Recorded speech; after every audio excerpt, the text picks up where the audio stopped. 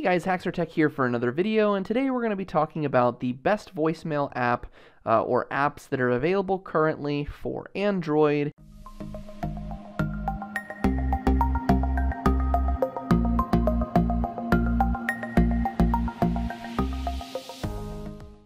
And so today I'm just going to go over a couple options. This will be a pretty short video um, because there's a variety of options to choose from here. I'm going to give you what I use, um, but some other ideas of what you could use. So the first thing that I'll just kind of go off and show you as far as voicemail options go, and this is for obviously depending on the device you have, whether or not built-in voicemail is a capability. If you have built-in visual voicemail, um, then you might not need to use one of these apps.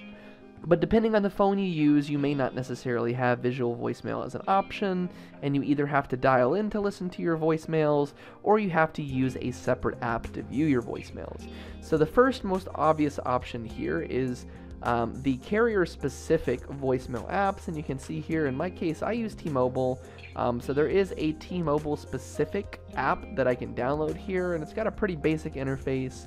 Um, it does give me a transcription of what audio is being recorded from all of my voicemails. I can go in here and see everything, um, and it does sync, so um, it, it, works okay. Um, there are some consistency issues for T-Mobile and for other carrier voicemail apps that I've used.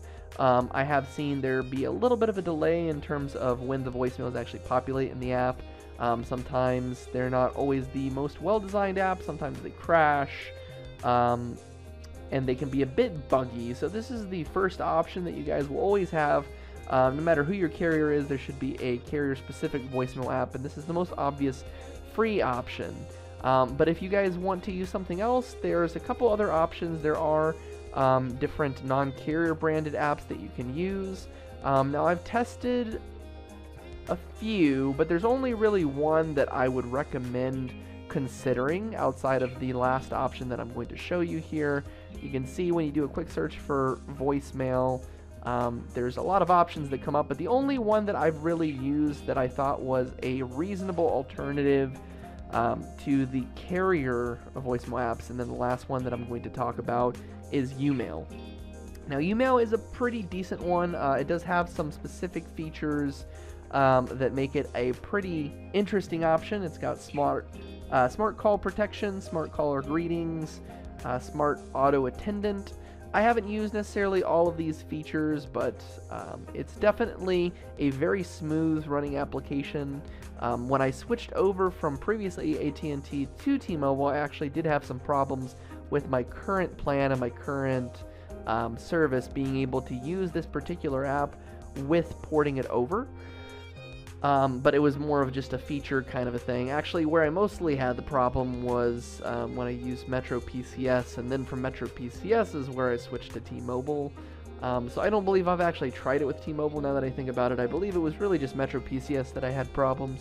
So depending on who your carrier is, you may uh, potentially have problems getting this to function with your phone number. Uh, but it's definitely an interesting option. It has a nice interface. It has some um, some features to increase your privacy and protect you against spam and things like that. Um, it's definitely more fluid in terms of how often it updates um, and the consistency in which it syncs. Uh, it makes it very easy for you to use custom um, greetings. So if you want to specifically record um, wherever you want to record it to, if you want to record a voicemail greeting or for your voicemail whenever it picks up um, whatever that message is that plays when someone reaches your voicemail. You can custom record whatever you want, and it makes it very easy to choose um, between those different options here. You can see that within um, the interface, there's also an option where you can make sure that it sends you an email as well for voicemail. So if you want to receive an email upon each of the new voicemails that you get, you can do that as well. And you can see in the email that you receive um, there's a link to be able to play back the message. Uh, you can view the contact or block the caller directly from the email. Uh, but of course, those options are available within the app as well.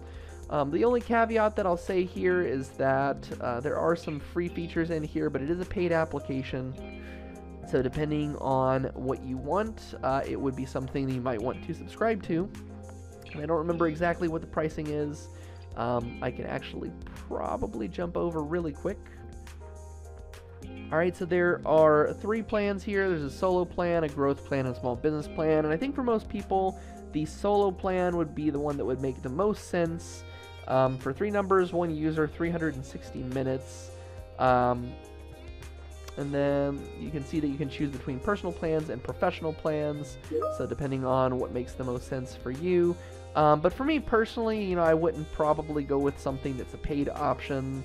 Um, I definitely just need the bare kind of bones, bare minimum uh, feature set for my voicemail, and that's going to lead me to the app that I use. So here you can see, you can certainly check this out and look at it.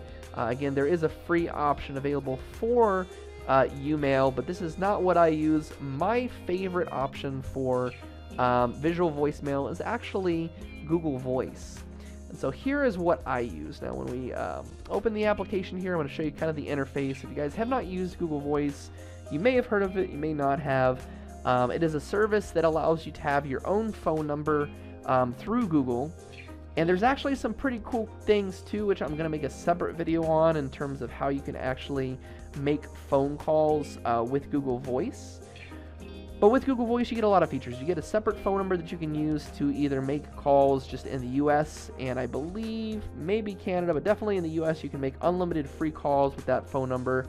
You can receive or place calls, um, and you can use that number to uh, to be your main number if you want. If it's you know you're only really looking to get calls in the US anyway, um, then you can basically have that be your main number, and you can port it over to um, your cell phone number. So whenever someone calls that number, it'll ring your cell phone. Um, and then that way you can also take calls on your PC or you can take it on your cell phone. Uh, but it, it, gives you a full phone number, which is great. But in this case, we're looking at this from the perspective of someone who maybe just wants to use this purely for voicemails. And so you can see here, here's sort of the interface. Um, so you can make calls using this service. You can even receive text messages. But it's the voicemail feature that I really wanted to show, and I'm not going to open my app because of, uh, you know, obviously the confidential kind of information that's in there right now, but you can kind of see what it looks like. Um, so here is a sample or an example of what it looks like when you receive a voicemail. It basically gives you the information of the caller, uh, and you have the option here to play back. You can just click on the play button to play back the audio itself um, through either speakerphone or through your headset. Uh, and then you also get a transcription of each of those calls. And depending on the service that you're using to actually transcribe the audio, obviously will affect how good the transcription is. Um, I can say that comparing the T-Mobile branded carrier voicemail app versus Google Voice, I tend to get better quality results from the Google voicemail app or the Google um, voice app rather. Uh, the voicemails just seem to transcribe better. Now, that being said, there's definitely some voicemails that I have received where it was completely illegible, and that really just depends on the quality of the call that comes through your voicemail. If the person who is talking is either on, um, you know, a phone maybe with a bad microphone, or if the uh, quality of that particular connection um, to the phone line is not great, then it could obviously affect um, the transcription. So there's a lot of different factors there, but overall the transcription is pretty decent uh, with Google Voice, and it's definitely um, a really easy way to get visu- visual voicemail for your service. Uh, it's completely free. There's no ads, which is also great, uh, whereas YouMail and all of the other options out there do have advertisements. So for me personally, at this point, I probably wouldn't consider anything other than Google Voice. Um, for my voicemails. That's what I use for everything. Um, and because it's used through Google as well, through your Google account, if you already have an existing Google account, then you can just sign up for the Google, uh, Google Voice service, and you can easily integrate and link this with your current phone number um, versus having to create a completely separate account for another um, app. And then, of course, the only other option there is the carrier specific ones, but they're a little bit less reliable. Um, and the other thing, too, that's really nice about using this, uh, one of the caveats of using a carrier specific visual voicemail app is if you're looking to go back and find voicemails, let's say from a year ago, if you ever changed your carrier, and in my case, I've gone through three different carriers uh, in total, then you might have problems doing so. If you have voicemails um, from T-Mobile versus AT&T, um, or even Verizon or whoever it is, if you get all of your voicemail through Google Voice, they're all going to be there, uh, you know, kind of despite whatever carrier that you actually switch through. So it's really nice that you can have everything in one place and you can always have it kind of with you. So what I'm going to do here is I'm going to minimize this really quickly and I'm going to pop back over to this page where I just wanted to show you guys exactly what you guys would need to do um, in order to set this up. So um, I'm going to not go through all the steps directly on my phone, but I'm going to link this page in the description so that you guys have um, all the information you need with the steps. Now this will depend on your carrier, but you can see here if you were an AT&T customer, for example, um, you basically just type in a series of commands here. You're basically just typing in star 61 star and then the phone number of your Google Voice number and then pound. And what that's that's going to do is essentially forward your voicemail to the Google Voice line, which means that whatever greeting you have set up with Google Voice is going to be the voicemail that the person's going to hear, and the voicemail is actually going to be forwarded over there. So all the voicemail is actually going to um, this Google Voice account. However, they're still making your friends and your family and whoever's calling you, they're still calling your normal phone number. Um, so there's no change there. You don't have to start giving out your Google Voice number or anything like that. This is simply sending the voicemail um, to the Google Voice account so that everything is kind of kept in one single place. Um, now, again, with certain carriers like Metro PCS, um, there are sometimes features that need to be added, like you have to have, um, you know, feature that will allow you to forward um, voicemail. And if your account does not support that, then more than likely you're going to only have the option to use either the carrier specific voicemail app um, or either built in visual voicemail, for example. But as long as you have the ability to forward voicemails or forward calls, um, it's it's called so feature wise it's actually called conditional call forwarding. So as long as you have this in your account or as a part of your account um, then you will be able to use this uh, function. You'll be able to use google voice for your voicemails. So here's the steps for at&t i'll just pop back over to uh, my phone real quick here. So let's pop back over on my phone Okay, so here back on my phone, I would basically just type in star 61 star and then the phone number of my Google Voice number. Same thing with the star 62, star 67. So this is what it would look like. And then you would literally just press this green call button there. It's going to dial and you're going to get a message on your screen there, which will basically just say something uh, about successful. It'll kind of be just a successful message um, on your screen there. And that's how you'll know that it's actually worked when you've initiated that function. Uh, and then once that's done, you can test it. Uh, you can go ahead and call your voicemail, or you can have someone else uh, call your normal phone number, leave you a voicemail. And if you're signed into the Google Voice app on your phone, I'll just go ahead and move over here. If you're signed into the Google Voice app um, on your phone, then you'll be able to make sure that if someone tests it and they call your phone, they leave a voicemail, you'll be able to make sure that you actually receive the voicemail. You can play it back and see the transcription that was left. So that's really all I wanted to show you guys. I just wanted to give you a quick look at how you can use Google Voice to um, take all of your voicemails. Again, it is my favorite service um, or app to use to take phone call voicemails or phone voicemails um, on Android. Um, if you guys have any questions, feel free to leave a comment below. Uh, like, comment, and subscribe if you like the video.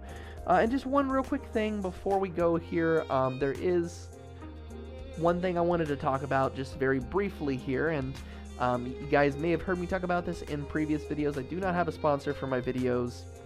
I don't work with any specific companies, uh, but I do like to find different services that are useful for people and different things that allow you to get free perks, um, free free services, and things like that. So if you guys are interested in for free supporting the channel, there's a couple ways that you can do that. Um, there's a Cash App, which is available in the description that gives you a free debit card and get you discounts at stores and places like that. Um, there's some other apps and, and little goodies in there as well. But today, what I wanted to talk about is just a way that you can get um, free stock.